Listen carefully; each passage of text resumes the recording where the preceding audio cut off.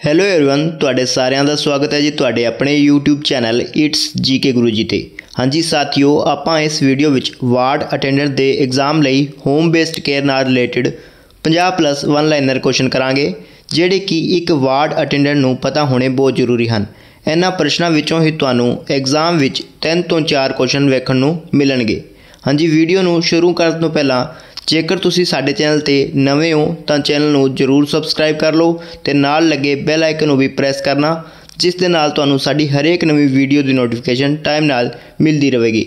Friend, ਜੇਕਰ ਤੁਹਾਨੂੰ video ਪਸੰਦ ਆਏ, ਤਾਂ ਇਸ ਨੂੰ ਆਪਣੇ ਸਾਥੀਆਂ ਅੱਗੇ ਸ਼ੇਅਰ ਵੀ ਕਰਨਾ ਤੇ ਵੀਡੀਓ ਨੂੰ ਲਾਈਕ ਕਰਨਾ ਨਾ ਭੁੱਲਿਓ। ਸਟਾਰਟ ਕਰਦੇ ਹਾਂ ਜੀ ਅੱਜ ਦੀ ਵੀਡੀਓ ਨੂੰ। ਹਾਂਜੀ ਫਰਸਟ ਕੁਐਸਚਨ ਦਿੱਤਾ ਹੋਇਆ ਹੈ, ਸਿਹਤ ਅਤੇ ਰੋਗ ਕਿਸ ਸਮੁਦਾਇ ਵਿੱਚ ਇੱਕ ਗੁੰਝਲਦਾਰ ਸਮੱਸਿਆ ਹੈ? ਤਾਂ ਇਹ ਹੁੰਦੀ ਹੈ ਜੀ ਮਨੁੱਖੀ ਸਮੁਦਾਇ ਵਿੱਚ। ਨੈਕਸਟ ਕੁਐਸਚਨ ਹੈਗਾ ਹੈ ਮਨੁੱਖੀ ਅੰਗਾਂ ਵਿੱਚ ਚੱਲਣ ਵਾਲੀਆਂ ਚਾਰ ਵਿਸ਼ੇਸ਼ ਕਿਰਿਆਵਾਂ ਲਿਖੋ। ਤਾਂ ਫਰਸਟ ਹੈਗਾ ਜੀ ਦਿਲ ਦਾ ਧੜਕਣਾ ਸੈਕੰਡ ਹੈਗਾ ਜੀ ਫੇਫੜਿਆਂ ਦਾ ਸਾਹ ਲੈਣਾ ਥਰਡ ਹੈਗਾ ਜੀ ਦਿਮਾਗ ਦਾ ਸੋਚਣਾ, ਤੇ ਫੋਰਥ ਹੈਗਾ ਗੁਰਦਿਆਂ ਦਾ ਮੂਤਰ ਬਣਾਉਣਾ। ਨੈਕਸਟ ਕੁਐਸਚਨ ਹੈਗਾ ਜੀ ਗੁਰਦਿਆਂ ਵਿੱਚ ਨਿਸਪੰਦਨ ਹੋਣ ਨਾਲ ਸਰੀਰ ਵਿੱਚ ਕੀ ਹੁੰਦਾ ਹੈ? ਤਾਂ ਇਸ ਦਾ ਆਨਸਰ ਹੈਗਾ ਜੀ ਸਰੀਰ ਵਿੱਚ ਜ਼ਹਿਰੀਲੇ ਪਦਾਰਥ ਇਕੱਠੇ ਹੋ ਜਾਂਦੇ ਹਨ। ਨੈਕਸਟ ਕੁਐਸਚਨ ਹੈਗਾ ਮਨੁੱਖੀ ਸਰੀਰ ਨੂੰ ਭੋਜਨ ਦੀ ਲੋੜ ਕਿਉਂ ਹੁੰਦੀ ਹੈ? ਤਾਂ ਕਿਉਂ ਲੋੜ ਹੁੰਦੀ ਹੈ ਜੀ ਸੈੱਲਾਂ ਅਤੇ ਟਿਸ਼ੂਆਂ ਦੇ ਕਾਰਜ ਕਰਨ ਲਈ? ਨੈਕਸਟ ਕੁਐਸਚਨ ਵੈਰੀ ਇੰਪੋਰਟੈਂਟ ਹੈਗਾ ਜੀ, ਸਿਹਤ ਕੀ ਹੈ? ਤਾਂ ਸਿਹਤ ਉਹ ਅਵਸਥਾ ਹੈ ਜਿਸ ਦੇ ਅੰਤਰਗਤ ਸਰੀਰਕ, ਮਾਨਸਿਕ ਅਤੇ ਸਮਾਜਿਕ ਕਾਰਨ ਨੂੰ ਪੂਰੀ ਤਰ੍ਹਾਂ ਪੂਰੀ ਸਮਰੱਥਾ ਨਾਲ ਤੇ ਠੀਕ ਢੰਗ ਨਾਲ ਕੀਤਾ ਜਾ ਸਕੇ। ਉਸ ਨੂੰ ਕੀ ਕਿਹਾ ਜਾਂਦਾ ਜੀ ਇੱਕ ਚੰਗੀ ਸਿਹਤ? ਨੈਕਸਟ ਕੁਐਸਚਨ ਹੈਗਾ ਜੀ, ਚੰਗੀ ਸਿਹਤ ਲਈ ਕੀ ਕੀ ਲੋੜੀਂਦਾ ਹੈ? ਤਾਂ ਚੰਗੀ ਸਿਹਤ ਲਈ ਸਮੁਦਾਇਕ ਸਫ਼ਾਈ ਭੋਜਨ ਅਤੇ ਚੰਗੀ ਆਰਥਿਕ ਸਥਿਤੀ। ਫਿਰ ਤੋਂ ਰਿਪੀਟ ਕਰ ਦਿੰਦੇ ਹਾਂ ਜੀ। ਸਮੁਦਾਇਕ ਸਫ਼ਾਈ, ਭੋਜਨ ਅਤੇ ਚੰਗੀ ਆਰਥਿਕ ਸਥਿਤੀ। ਨੈਕਸਟ ਕੁਐਸਚਨ ਹੈਗਾ ਬੌਧਿਕ ਆਰਾਮ ਅਤੇ ਅਸੁਵਿਧਾ ਕੀ ਹੈ? ਤਾਂ ਬੌਧਿਕ ਆਰਾਮ ਤੇ ਅਸੁਵਿਧਾ ਕੀ ਹੈਗਾ ਜੀ? ਰੋਗਾਂ ਦਾ ਦੂਸਰਾ ਨਾਂ। ਚਲਦੇ ਹਾਂ ਨੈਕਸਟ ਕੁਐਸਚਨ ਵੱਲ। ਹਾਂਜੀ, ਆਪਣਾ ਨੈਕਸਟ ਕੁਐਸਚਨ ਦਿੱਤਾ ਹੋਇਆ ਹੈ। ਸਰੀਰ ਦੀਆਂ ਕਿਰਿਆਵਾਂ ਵਿੱਚ ਬਦਲਾਅ ਕੀ ਦਰਸਾਉਂਦੇ ਹਨ? ਤਾਂ ਕੀ ਦਰਸਾਉਂਦੇ ਨੇ? ਰੋਗਾਂ ਦੇ ਲੱਛਣ। ਨੈਕਸਟ ਕੁਐਸਚਨ ਹੈਗਾ ਜੀ ਕੋਈ ਚਾਰ ਲੱਛਣ ਦੱਸੋ ਜਿਸ ਨਾਲ ਰੋਗ ਦਾ ਪਤਾ ਲੱਗਦਾ ਹੈ? ਇਹ ਕੁਐਸਚਨ ਵੈਰੀ ਵੈਰੀ ਇੰਪੋਰਟੈਂਟ ਹੈਗਾ ਜੀ। ਫਰਸਟ ਹੈਗਾ ਜੀ, ਸਿਰ ਦਰਦ। ਸੈਕੰਡ ਹੈਗਾ ਜੀ, ਖਾਂਸੀ। ਥਰਡ ਹੈਗਾ ਜੀ, ਦਸਤ। ਤੇ ਫੋਰਥ ਹੈਗਾ ਕਿਸੇ ਜ਼ਖਮ ਵਿੱਚ ਮਵਾਦ। ਨੈਕਸਟ ਕੁਐਸਚਨ ਹੈਗਾ ਜੀ, ਲੱਛਣ ਕਿਸੇ ਡਾਕਟਰ ਨੂੰ ਕਿਸ ਗੱਲ ਦਾ ਸੰਕੇਤ ਦਿੰਦੇ ਹਨ? ਇਹ ਕੁਐਸਚਨ ਵੀ ਇੰਪੋਰਟੈਂਟ ਹੈਗਾ ਤਾਂ ਇਸ ਦਾ ਆਨਸਰ ਹੈਗਾ ਜੀ, ਕਿਸੇ ਰੋਗ ਬਾਰੇ ਯਕੀਨੀ ਬਣਾਉਂਦੇ ਹਨ। ਹਾਂਜੀ, ਲੱਛਣ ਹੈ ਜਿਹੜੇ ਡਾਕਟਰ ਨੂੰ ਕਿਸੇ ਰੋਗ ਬਾਰੇ ਯਕੀਨੀ ਬਣਾਉਣ ਦੇ ਸੰਕੇਤ ਦਿੰਦੇ ਨੇ। ਨੈਕਸਟ ਕੁਐਸਚਨ ਹੈਗਾ ਕਿਹੜੇ ਰੋਗ ਘੱਟ ਸਮੇਂ ਲਈ ਹੁੰਦੇ ਹਨ? ਉਹਨਾਂ ਨੂੰ ਕੀ ਕਹਿੰਦੇ ਨੇ? ਇਹ ਕੁਐਸਚਨ ਵੀ ਵੈਰੀ ਇੰਪੋਰਟੈਂਟ ਹੈਗਾ ਜੀ। ਤਾਂ ਕਿਹੜੇ ਰੋਗ ਹੁੰਦੇ ਨੇ? ਅਲਪਕਾਲੀਨ ਰੋਗ। ਨੈਕਸਟ ਕੁਐਸਚਨ ਵੀ ਇੰਪੋਰਟੈਂਟ ਹੈਗਾ ਲੰਬੇ ਸਮੇਂ ਤੱਕ ਜਾਂ ਜ਼ਿੰਦਗੀ ਭਰ ਰਹਿਣ ਵਾਲੇ ਰੋਗ ਨੂੰ ਕੀ ਕਹਿੰਦੇ ਹਨ? ਤਾਂ ਉਹਨਾਂ ਨੂੰ ਕੀ ਕਿਹਾ ਜਾਂਦਾ ਜੀ? ਦੀਰਘਕਾਲੀਨ ਰੋਗ। ਨੈਕਸਟ ਕੁਐਸਚਨ ਹੈਗਾ ਹਾਂਜੀ, ਆਪਣਾ ਨੈਕਸਟ ਕੁਐਸਚਨ ਦਿੱਤਾ ਹੋਇਆ ਹੈ। ਅਲਪਕਾਲੀਨ ਰੋਗ ਦੀ ਇੱਕ ਉਦਾਹਰਨ ਦਿਓ। ਹਾਂਜੀ, ਇਹ ਕੁਐਸਚਨ ਵੈਰੀ ਇੰਪੋਰਟੈਂਟ ਹੈਗਾ ਜੀ। ਉਦਾਹਰਨ ਹੈਗੀ ਜੀ, ਖਾਂਸੀ ਅਤੇ ਜ਼ੁਕਾਮ। ਇਹ ਦੋਨੋਂ ਕਿਹੜੇ ਰੋਗ ਨੇ? ਅਲਪਕਾਲੀਨ ਰੋਗ। ਨੈਕਸਟ ਕੁਐਸਚਨ ਦਿੱਤਾ ਹੋਇਆ ਜੀ। ਦੀਰਘਕਾਲੀਨ ਰੋਗ ਦੀ ਇੱਕ ਉਦਾਹਰਨ ਦਿਓ। ਤਾਂ ਉਦਾਹਰਨ ਹੈਗੀ ਜੀ, ਪੈਰ ਫੁੱਲਣ ਦਾ ਰੋਗ, ਜਿਹਨੂੰ ਕੀ ਕਿਹਾ ਜਾਂਦਾ ਹੈ? ਐਲੀਫੈਂਟਾਈਸਿਸ ਜੀ ਆ ਉਦਾਹਰਨ ਹੈਗੇ ਜੀ, ਦੀਰਘਕਾਲੀਨ ਰੋਗ ਦੀ, ਜਿਹੜੇ ਕਿ ਲੰਬੇ ਸਮੇਂ ਤੱਕ ਚੱਲਦੇ ਨੇ। ਨੈਕਸਟ ਕੁਐਸਚਨ ਵੀ ਇੰਪੋਰਟੈਂਟ ਹੈਗਾ ਸਿਹਤ ਨੂੰ ਵਧੇਰੇ ਹਾਨੀ ਕਿਸ ਪ੍ਰਕਾਰ ਦੇ ਰੋਗ ਨਾਲ ਹੁੰਦੀ ਹੈ? ਤਾਂ ਕਿਸ ਪ੍ਰਕਾਰ ਦੇ ਨਾਲ ਹੁੰਦੀ ਹੈ ਜੀ? ਦੀਰਘਕਾਲੀਨ ਰੋਗ ਦੇ ਨਾਲ, ਜਿਹੜੇ ਕਿ ਲੰਬੇ ਸਮੇਂ ਤੱਕ ਚੱਲਦੇ ਨੇ। ਨੈਕਸਟ ਕੁਐਸਚਨ ਹੈਗਾ ਪਤਲੇ ਦਸਤ ਲੱਗਣ ਦਾ ਕੀ ਕਾਰਨ ਹੈ? ਤੇ ਕੀ ਕਾਰਨ ਹੁੰਦਾ ਜੀ? ਦੂਸ਼ਿਤ ਭੋਜਨ ਅਤੇ ਗੰਦੇ ਪਾਣੀ ਦੀ ਵਰਤੋਂ। ਚਲਦੇ ਹਾਂ ਨੈਕਸਟ ਕੁਐਸਚਨ ਵੱਲ। ਜੀ, ਆਪਣਾ ਨੈਕਸਟ ਕੁਐਸਚਨ ਦਿੱਤਾ ਹੋਇਆ ਹੈ, ਸਕਰਾਮਕ ਰੋਗ ਕਿਸ ਨੂੰ ਕਹਿੰਦੇ ਹਨ? ਹਾਂਜੀ, ਆਪਾਂ ਦੱਸਣਾ ਹੈ ਕਿ ਸਕਰਾਮਕ ਰੋਗ ਕਿਹੜੇ ਹੁੰਦੇ ਨੇ? ਅਜਿਹੇ ਰੋਗ ਜਿਨ੍ਹਾਂ ਦਾ ਤਤਕਾਲੀਨ ਕਾਰਨ ਸੂਖਮ ਜੀਵ ਹੁੰਦੇ ਹਨ, ਉਹਨਾਂ ਨੂੰ ਸਕਰਾਮਕ ਰੋਗ ਕਿਹਾ ਜਾਂਦਾ ਹੈ। ਇਹ ਸੂਖਮ ਜੀਵ ਸਮੁਦਾਇ ਵਿੱਚ ਰੋਗ ਫੈਲਾ ਦਿੰਦੇ ਹਨ। ਨੈਕਸਟ ਕੁਐਸਚਨ ਵੀ ਇੰਪੋਰਟੈਂਟ ਹੈਗਾ ਕੈਂਸਰ ਰੋਗ ਦਾ ਕੀ ਕਾਰਨ ਹੈ? ਤਾਂ ਇਸ ਦਾ ਕਾਰਨ ਹੁੰਦਾ ਜੀ ਅਨੁਵਾਂਸ਼ਿਕ ਅਸਮਾਨਤਾ।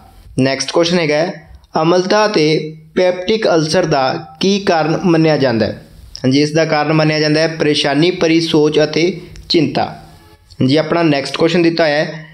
ਪੇਪਟਿਕ ਅਲਸਰ ਕਿਸ ਕਾਰਨ ਹੁੰਦਾ ਹੈ? ਤਾਂ ਕਿਸ ਕਾਰਨ ਹੁੰਦਾ ਜੀ?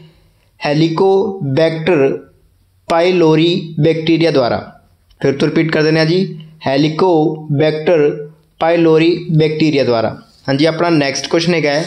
ਕਿਹੜੇ ਦੋ ਵਿਗਿਆਨਿਕਾਂ ਨੇ ਪੇਪਟਿਕ ਅਲਸਰ ਦੇ ਕਾਰਨ ਬੈਕਟੀਰੀਆ ਦਾ ਪਤਾ ਲਗਾਇਆ ਸੀ? ਹਾਂਜੀ, ਆਸਟ੍ਰੇਲੀਆ ਦੇ ਸੀ ਦੋਨੋਂ ਵਿਗਿਆਨਿਕ। ਕੀ ਨਾਂ ਸੀ ਇੱਕ ਦਾ? ਰੋਬਿਨ ਬਾਰਨ ਅਤੇ ਸੈਕੰਡ ਦਾ ਨਾਮ ਹੈਗਾ ਜੀ ਬੈਰੀ ਮਾਰਸ਼ਲ। ਫਿਰ ਤੋਂ ਰਿਪੀਟ ਕਰ ਦਿੰਦੇ ਆ ਆਸਟ੍ਰੇਲੀਆ ਦੇ ਰੋਗ ਵਿਗਿਆਨਿਕ ਰਾਬਿਨ ਬਾਰਨ ਅਤੇ ਬੈਰੀ ਮਾਰਸ਼ਲ। ਨੈਕਸਟ ਕੁਐਸਚਨ ਵੱਲ ਚੱਲਦੇ ਆ ਪੈਪਟਿਕ ਅਲਸਰ ਦਾ ਇਲਾਜ ਹੁਣ ਕਿਸ ਤਰ੍ਹਾਂ ਹੁੰਦਾ ਹੈ? ਹਾਂਜੀ, ਕਿਸ ਤਰ੍ਹਾਂ ਹੁੰਦਾ ਜੀ? ਪ੍ਰਤੀਜੀਵਕਾਂ ਦੀ ਵਰਤੋਂ ਨਾਲ। ਪੈਪਟਿਕ ਅਲਸਰ ਦਾ ਇਲਾਜ ਹੁਣ ਪ੍ਰਤੀਜੀਵਕਾਂ ਦੀ ਵਰਤੋਂ ਨਾਲ ਕੀਤਾ ਜਾਂਦਾ ਹੈ। ਚਲਦੇ ਹਾਂ ਨੈਕਸਟ ਕੁਐਸਚਨ ਵੱਲ। ਨੈਕਸਟ ਕੁਐਸਚਨ ਦਿੱਤਾ ਜੀ, ਬਾਰਨ ਅਤੇ ਮਾਰਸ਼ਲ ਨੂੰ ਪੈਪਟਿਕ ਅਲਸਰ ਦੇ ਇਲਾਜ ਨੂੰ ਲੱਭਣ ਲਈ ਨੋਬਲ ਪੁਰਸਕਾਰ ਕਦੋਂ ਦਿੱਤਾ ਗਿਆ ਸੀ? ਤਾਂ ਇਹ ਕਦੋਂ ਦਿੱਤਾ ਗਿਆ ਸੀ? ਸਨ 2005 ਵਿੱਚ। ਨੈਕਸਟ ਕੁਐਸਚਨ ਹੈਗਾ ਜੀ, ਵਾਇਰਸ ਨਾਲ ਹੋਣ ਵਾਲੇ ਚਾਰ ਰੋਗਾਂ ਦੇ ਨਾਂ ਲਿਖੋ। ਹਾਂਜੀ, ਇਹ ਕੁਐਸਚਨ ਵੈਰੀ ਵੈਰੀ ਇੰਪੋਰਟੈਂਟ ਹੈਗਾ ਜੀ। ਤੁਹਾਡੇ ਐਗਜ਼ਾਮ ਦੇ ਲਈ ਆਨਸਰ ਕੀ ਹੈਗਾ ਜੀ? ਖਾਂਸੀ, ਜ਼ੁਕਾਮ ਇਨਫਲੂਐਂਜ਼ਾ ਡੇਂਗੂ, ਬੁਖਾਰ ਤੇ ਏਡਜ਼ ਇਹ ਰੋਗ ਵਾਇਰਸ ਦੇ ਨਾਲ ਹੁੰਦੇ ਨੇ। ਨੈਕਸਟ ਕੁਐਸਚਨ ਵੀ ਇੰਪੋਰਟੈਂਟ ਹੈਗਾ ਜੀ। ਬੈਕਟੀਰੀਆ ਨਾਲ ਫੈਲਣ ਵਾਲੇ ਚਾਰ ਰੋਗਾਂ ਦੇ ਨਾਂ ਲਿਖੋ। ਤਾਂ ਟਾਈਫਾਈਡ ਹੇਜਾ ਟੀਬੀ ਅਤੇ ਐਥਰੈਕਸ ਇਹ ਸਾਰੇ ਰੋਗ ਜਿਹੜੇ ਬੈਕਟੀਰੀਆ ਨਾਲ ਫੈਲਦੇ ਨੇ। ਨੈਕਸਟ ਕੁਐਸਚਨ ਹੈਗਾ ਜੀ। ਪ੍ਰੋਟੋਜੋਆ ਤੋਂ ਹੋਣ ਵਾਲੇ ਦੋ ਰੋਗਾਂ ਦੇ ਨਾਂ ਲਿਖੋ। ਤਾਂ ਮਲੇਰੀਆ ਤੇ ਕਾਲਾਜ਼ਾਰ ਇਹ ਰੋਗ ਜਿਹੜੇ ਪ੍ਰੋਟੋਜੋਆ ਨਾਲ ਹੁੰਦੇ ਨੇ। ਨੈਕਸਟ ਕੁਐਸਚਨ ਹੈਗਾ ਆਮ ਕਰਕੇ ਚਮੜੀ ਰੋਗ ਕਿਸ ਨਾਲ ਫੈਲਦੇ ਨੇ ਤੇ ਇਹ ਰੋਗ ਜਿਹੜੇ ਉੱਲੀਆਂ ਕਾਰਨ ਫੈਲਦੇ ਨੇ, ਚਮੜੀ ਦੇ ਰੋਗ। ਨੈਕਸਟ ਕੁਐਸਚਨ ਵੀ ਇੰਪੋਰਟੈਂਟ ਹੈਗਾ ਜੀ। ਰੋਗ ਫੈਲਾਉਣ ਵਾਲੇ ਕਿਸ ਕਾਰਕ ਦਾ ਗੁਣ ਤੁਲਨਾਤਮਕ ਪੱਖ ਨਾਲ ਘੱਟ ਹੈ? ਤਾਂ ਕਿਰਮਾ ਦਾ ਗੁਣ ਨੈਕਸਟ ਕੁਐਸਚਨ ਵੱਲ ਚੱਲਦੇ ਹਾਂ ਜੀ। ਨੈਕਸਟ ਕੁਐਸਚਨ ਆਪਣਾ ਹੈਗਾ ਰੋਗ ਦੀ ਅਵਸਥਾ ਵਿੱਚ ਐਂਟੀਬਾਇਓਟਿਕ ਕੀ ਕਰਦੇ ਹਨ? ਇਹ ਕੁਐਸਚਨ ਬਹੁਤ ਜ਼ਿਆਦਾ ਇੰਪੋਰਟੈਂਟ ਹੈਗਾ ਜੀ। ਤਾਂ ਇਸ ਦਾ ਆਨਸਰ ਕੀ ਹੈਗਾ ਐਂਟੀਬਾਇਓਟਿਕ ਦੇ ਮਹੱਤਵਪੂਰਨ ਜੈਵ ਰਸਾਇਣਿਕ ਮਾਰਗ ਨੂੰ ਬੰਦ ਕਰ ਦਿੰਦੇ ਨੇ। ਹਾਂਜੀ ਐਂਟੀਬਾਇਓਟਿਕ ਦੇ ਮਹੱਤਵਪੂਰਨ ਜੈਵ ਰਸਾਇਣਿਕ ਮਾਰਗ ਨੂੰ ਬੰਦ ਕਰ ਦਿੰਦੇ ਨੇ। ਨੈਕਸਟ ਕੁਐਸਚਨ ਹੈਗਾ ਪੈਨਸਿਲਿਨ ਐਂਟੀਬਾਇਓਟਿਕ ਮੂਲ ਰੂਪ ਵਿੱਚ ਕੀ ਕਰਦਾ ਹੈ? ਤਾਂ ਬੈਕਟੀਰੀਆ ਦੀ ਕੋਸ਼ਿਕਾ ਪਿੱਤੀ ਬਣਾਉਣ ਵਾਲੀ ਪ੍ਰਕਿਰਿਆ ਨੂੰ ਰੋਕ ਦਿੰਦੇ ਹਨ। ਮਨੁੱਖ ਦੀਆਂ ਕੋਸ਼ਿਕਾਵਾਂ ਕੋਸ਼ਿਕਾ ਪਿੱਤੀ ਨਹੀਂ ਬਣਾ ਸਕਦੀ। ਇਸ ਲਈ ਪੈਨਸਿਲਿਨ ਦਾ ਅਸਰ ਮਨੁੱਖ ਤੇ ਨਾ ਹੋ ਕੇ ਸਿਰਫ ਬੈਕਟੀਰੀਆ ਤੇ ਹੀ ਹੁੰਦਾ ਹੈ। ਹਾਂਜੀ, ਫਿਰ ਤੋਂ ਰਿਪੀਟ ਕਰ ਦਿੰਦੇ ਹਾਂ। ਕੁਐਸਚਨ ਬਹੁਤ ਜ਼ਿਆਦਾ ਇੰਪੋਰਟੈਂਟ ਹੈਗਾ ਕੁਐਸਚਨ ਹੈਗਾ ਜੀ, ਪੈਨਸਿਲਿਨ ਐਂਟੀਬਾਇਓਟਿਕ ਮੂਲ ਰੂਪ ਵਿੱਚ ਕੀ ਕਰਦਾ ਹੈ? ਹਾਂਜੀ, ਇਹਦਾ ਕੰਮ ਕੀ ਹੁੰਦਾ ਹੈ? ਤਾਂ ਬੈਕਟੀਰੀਆ ਦੀ ਕੋਸ਼ਿਕਾ ਪਿੱਤੀ ਬਣਾਉਣ ਵਾਲੀ ਪ੍ਰਕਿਰਿਆ ਨੂੰ ਰੋਕ ਦਿੰਦਾ ਹੈ। ਮਨੁੱਖ ਦੀਆਂ ਕੋਸ਼ਿਕਾਵਾਂ ਕੋਸ਼ਿਕਾ ਪਿੱਤੀ ਨਹੀਂ ਬਣਾ ਸਕਦੀ, ਇਸ ਲਈ ਪੈਨਸਿਲਿਨ ਦਾ ਅਸਰ ਮਨੁੱਖ ਤੇ ਨਾ ਹੋ ਕੇ ਸਿਰਫ ਬੈਕਟੀਰੀਆ ਤੇ ਹੀ ਹੁੰਦਾ ਹੈ। ਨੈਕਸਟ ਕੁਐਸਚਨ ਹੈਗਾ ਕਿਸ ਕਾਰਨ ਇੱਕ ਐਂਟੀਬਾਇਓਟਿਕ ਬੈਕਟੀਰੀਆ ਦੀਆਂ ਕਈ ਸਪੀਸੀਜ਼ ਨੂੰ ਪ੍ਰਭਾਵਿਤ ਕਰਦਾ ਹੈ? ਤਾਂ ਜਿਹੜੇ ਐਂਟੀਬਾਇਓਟਿਕ ਕਿਸੇ ਵੀ ਬੈਕਟੀਰੀਆ ਦੇ ਜੈਵ ਰਸਾਇਣਿਕ ਮਾਰਗ ਨੂੰ ਬੰਦ ਕਰਕੇ ਕੋਸ਼ਿਕਾ ਪਿੱਤੀ ਬਣਾਉਣ ਦੀ ਪ੍ਰਕਿਰਿਆ ਨੂੰ ਰੋਕ ਸਕਦਾ ਹੈ, ਉਹ ਉਹਨਾਂ ਸਭ ਨੂੰ ਪ੍ਰਭਾਵਿਤ ਕਰਦਾ ਹੈ। ਨੈਕਸਟ ਕੁਐਸਚਨ ਵੱਲ ਚੱਲਦੇ ਹਾਂ ਜੀ। ਜੀ, ਆਪਣਾ ਨੈਕਸਟ ਕੁਐਸਚਨ ਹੈਗਾ ਐਂਟੀਬਾਇਓਟਿਕ ਦਾ ਅਸਰ ਰੋਗ ਫੈਲਾਉਣ ਵਾਲੇ ਕਿਹੜੇ ਕਾਰਕ ਨੂੰ ਪ੍ਰਭਾਵਿਤ ਨਹੀਂ ਕਰਦਾ, ਤਾਂ ਕਿਸ ਨੂੰ ਨਹੀਂ ਕਰਦਾ ਜੀ? ਵਾਇਰਸ ਨੂੰ। ਨੈਕਸਟ ਕੁਐਸਚਨ ਹੈਗਾ ਆਮ ਕਰਕੇ ਖਾਂਸੀ ਜ਼ੁਕਾਮ ਤੇ ਐਂਟੀਬਾਇਓਟਿਕ ਦਾ ਅਸਰ ਕਿਉਂ ਨਹੀਂ ਹੁੰਦਾ? ਫਿਰ ਤੋਂ ਰਿਪੀਟ ਕਰ ਦਿੰਦੇ ਹਾਂ ਜੀ ਕੁਐਸਚਨ ਇੰਪੋਰਟੈਂਟ ਹੈਗਾ ਜੀ, ਕਿ ਆਮ ਕਰਕੇ ਖਾਂਸੀ ਜ਼ੁਕਾਮ ਤੇ ਐਂਟੀਬਾਇਓਟਿਕ ਦਾ ਅਸਰ ਕਿਉਂ ਨਹੀਂ ਹੁੰਦਾ? ਜਿਵੇਂ ਖਾਂਸੀ ਜ਼ੁਕਾਮ ਹੋ ਜਾਂਦੀ ਹੈ ਤੇ ਆਪਾਂ ਦਵਾਈ ਲੈਂਦੇ ਆ ਫਿਰ ਵੀ ਠੀਕ ਨਹੀਂ ਹੁੰਦੀ, ਉਹਦਾ ਕੀ ਕਾਰਨ ਹੁੰਦਾ ਜੀ? ਕੀ ਆਨਸਰ ਹੈਗਾ ਜੀ? ਆਮ ਕਰਕੇ ਖਾਂਸੀ ਜ਼ੁਕਾਮ ਵਾਇਰਸ ਨਾਲ ਹੁੰਦੇ ਨੇ ਤੇ ਵਾਇਰਸ ਦੇ ਉੱਤੇ ਕੀ ਹੈ ਜਿਹੜਾ ਐਂਟੀਬਾਇਓਟਿਕ ਦਾ ਕੰਮ ਨਹੀਂ ਹੁੰਦਾ ਤੇ ਐਂਟੀਬਾਇਓਟਿਕ ਵਾਇਰਸ ਨੂੰ ਪ੍ਰਭਾਵਿਤ ਨਹੀਂ ਕਰ ਸਕਦੇ। ਨੈਕਸਟ ਕੁਐਸਚਨ ਹੈਗਾ ਜੀ, ਪਾਣੀ ਤੋਂ ਲਾਗ ਕਿਵੇਂ ਲੱਗਦੀ ਹੈ? ਜੀ, ਇਸ ਦਾ ਆਨਸਰ ਹੈਗਾ, ਜਦੋਂ ਛੂਤ ਦੇ ਰੋਗਾਂ ਤੋਂ ਪੀੜਤ ਰੋਗੀ ਦਾ ਮਲ ਮੂਤਰ ਪੀਣ ਵਾਲੇ ਪਾਣੀ ਵਿੱਚ ਮਿਲ ਜਾਂਦੇ ਨੇ, ਤਾਂ ਸਿਹਤਮੰਦ ਵਿਅਕਤੀ ਦੁਆਰਾ ਜਾਣਿਆ ਜਾਣੇ ਪੀ ਲਿਆ ਜਾਵੇ ਤਾਂ ਰੋਗ ਦੀ ਲਾਗ ਲੱਗ ਜਾਂਦੀ ਹੈ। ਫਿਰ ਤੋਂ ਰਿਪੀਟ ਕਰ ਦਿੰਦੇ ਹਾਂ ਜੀ। ਜਦੋਂ ਛੂਤ ਦੇ ਰੋਗਾਂ ਤੋਂ ਪੀੜਤ ਰੋਗੀ ਦਾ ਮਲ ਮੂਤਰ ਪੀਣ ਵਾਲੇ ਪਾਣੀ ਵਿੱਚ ਮਿਲ ਜਾਵੇ ਤਾਂ ਸਿਹਤਮੰਦ ਵਿਅਕਤੀ ਦੁਆਰਾ ਜਾਣੇ ਅਣਜਾਣੇ ਪੀ ਲਿਆ ਜਾਵੇ ਤਾਂ ਰੋਗ ਦੀ ਲਾਗ ਲੱਗ ਜਾਂਦੀ ਹੈ।